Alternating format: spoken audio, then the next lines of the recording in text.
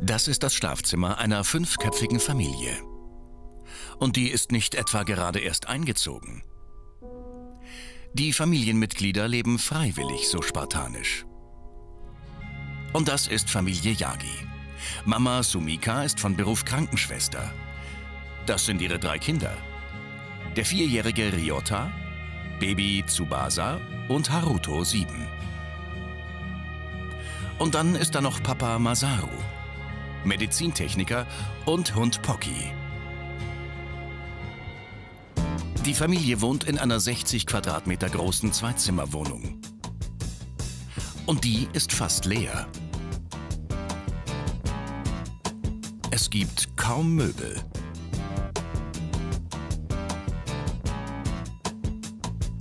Nicht mal ein Bett können wir entdecken. Jeden Abend breite ich hier unseren Futon aus und wir schlafen hier zu fünft. Zu fünft in einem Bett, das man jeden Tag auf und wieder abbauen muss. Das hört sich anstrengend an. Familie Yagi ist, wie die meisten Japaner, nicht arm. Beide Eltern haben gut bezahlte Jobs.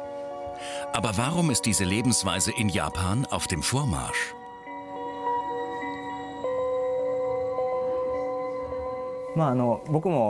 Ich habe angefangen, mich mit Minimalismus zu beschäftigen, als ich Kinder bekommen habe.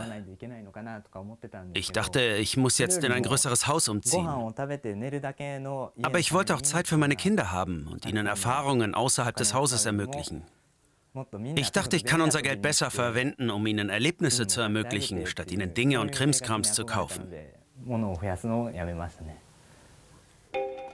Im Wohnzimmer entdecken wir einen Wandschrank und dürfen sogar reinschauen. Hier lagern die Dinge, die Mutter Sumika und den drei Kindern gehören. Der Schrank ist halb leer. Von hier bis da war mein Schrank früher voll. Und ich hatte drei solcher Schränke. Früher habe ich Klamotten geliebt. Shopping war mein Hobby. Das war bevor ich Minimalistin wurde. Mein Mann hat damit angefangen. Am Anfang war das für mich ganz schön schwierig, mit wenigen Sachen auszukommen.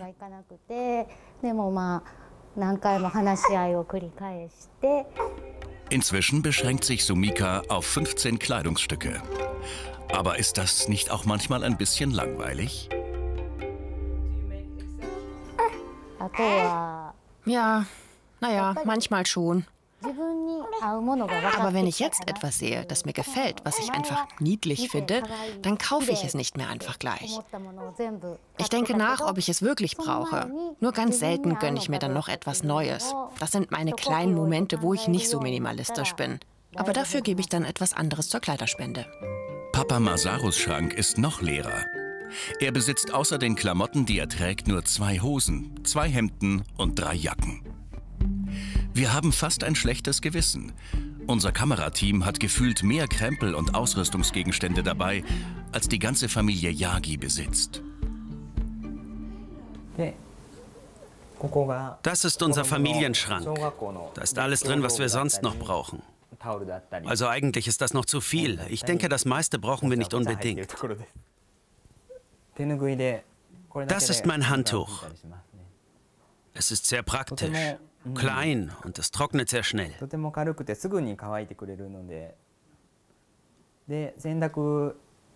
Du weißt, wir sind fünf Personen im Haushalt.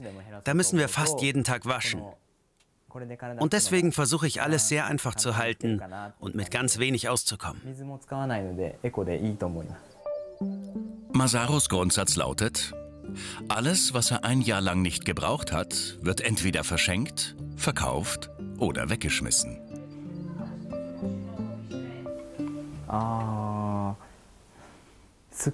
Ich fühle mich freier, je weniger Dinge rumstehen. Zum Beispiel, wenn man diese Kiste mit dem Kram hier wegnimmt, dann sieht das schon viel schlichter und sauberer aus.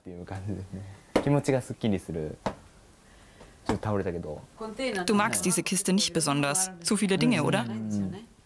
Ja. Die Kinder sind inzwischen in der Schule.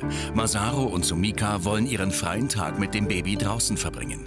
Drinnen gibt es ja auch nicht viele Spielmöglichkeiten. Ist die Babytrage gekauft oder geliehen? Gekauft. Masaru wäre es offensichtlich lieber, wenn die Babytrage geliehen wäre. Gegenstände zu kaufen geht ihm inzwischen gegen den Strich. Nicht aus Geiz, sondern aus Prinzip. Auf uns wirkt das ein bisschen übertrieben. Ob die Yagis auch minimalistisch essen?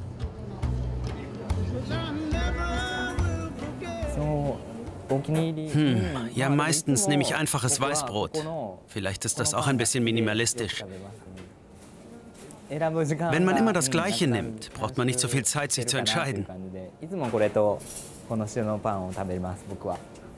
Also ja. Masaru zieht das offenbar in allen Bereichen durch. Nur Sumikas Rucksack passt nicht ganz ins Bild. Zeug rumschleppen ist doch nicht minimalistisch, oder? Jetzt wollen wir natürlich wissen, was da drin ist.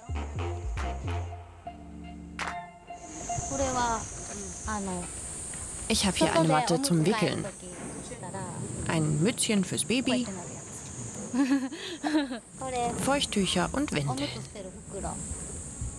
Für ihr Baby machen die beiden also Ausnahmen. Früher sah Sumikas Tasche noch ganz anders aus. Ich hatte einen Föhn, einen Schal, Make-up, viel, viel Zeug, das man nicht braucht.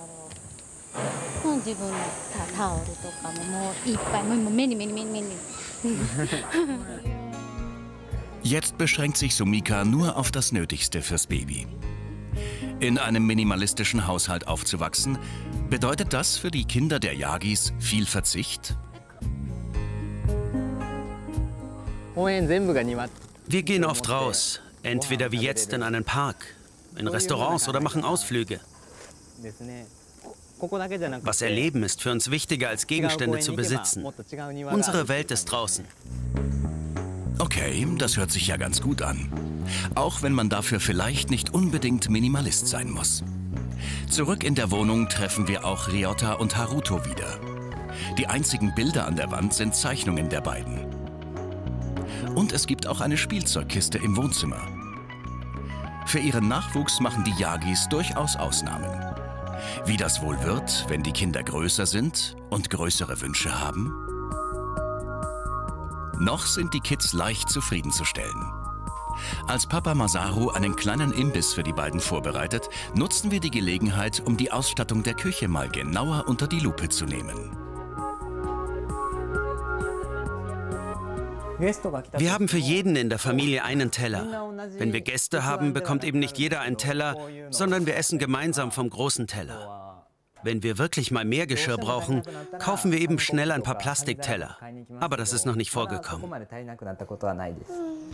Na, die Idee mit den Plastiktellern ist jedenfalls nicht besonders umweltfreundlich. Guten Appetit. Die Kinder der Yagis sollen lernen, dass es nicht so wichtig ist, die neuesten Spielsachen oder coolsten Klamotten zu besitzen.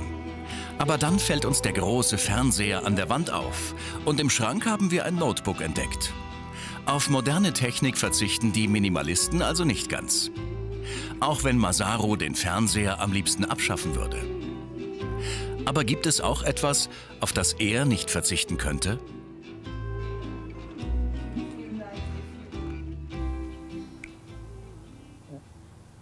Meine Familie.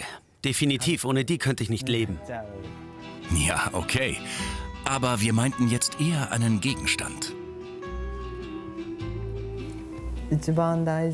Hm. Also, wenn ich etwas aussuchen müsste. Einen Gegenstand. Also am ehesten würde ich mein Smartphone vermissen. Das würde mir schon schwerfallen, darauf zu verzichten. Aha, da ist Masaru uns dann doch ganz ähnlich. Sumika zeigt uns jetzt noch das Badezimmer. Für Japaner ist Hygiene extrem wichtig. Aber auch hier beschränkt sich die Familie auf das Nötigste. Das bringt uns auch zum Nachdenken, was wir eigentlich brauchen und was überflüssig ist. Ich hatte all dieses Zeug. Gesichtswasser, Feuchtigkeitscreme, Tagcreme, Nachtcreme, Foundationcreme. Wie viel ich ausgegeben habe? Hm.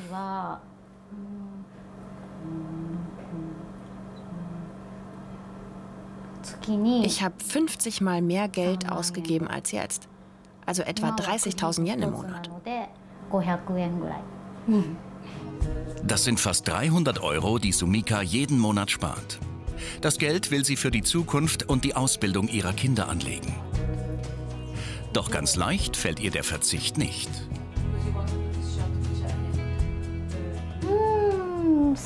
Ich fange an, mich auch ohne das Make-up schön zu finden. Aber so ganz bin ich da noch nicht da. Minimalist zu sein ist nicht immer einfach. Und vielleicht haben die Fragen während unseres Drehs auch Masaru nachdenklich gestimmt.